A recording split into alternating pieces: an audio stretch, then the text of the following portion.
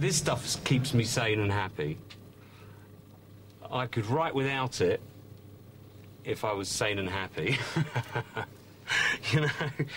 But actually, the thing I would actually say about it is I think it's very good for creative people, but it is a terrible, terrible drug in terms of, in terms of, you know, it, you've got to be in the right position in life to take it. You've got to have at least achieved most of your ambitions.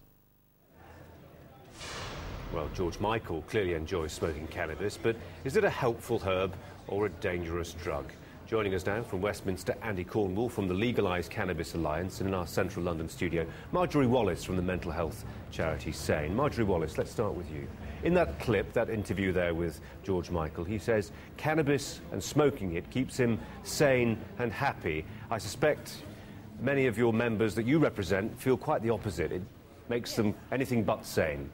Yeah, I mean, uh, it makes people insane. It makes young people particularly insane, and families disastrously unhappy. I mean, I know George Michael is saying it's a terrible, terrible drug, and that it really you have to be older and you have to have done all you want in life. But the messages it's giving out is that it's quite cool to do it, that you can do it.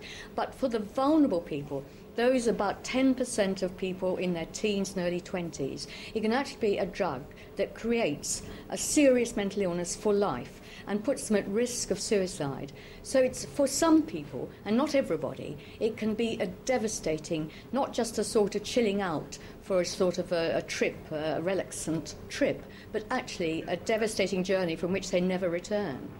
Andy Cornwall, the evidence is incontrovertible, as Marjorie Wallace points out. There are serious medical health problems lying ahead for anybody who becomes an habitual cannabis smoker.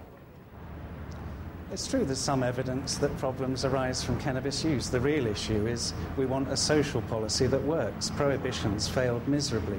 There'll always be some young, vulnerable people that shouldn't be using any intoxicant.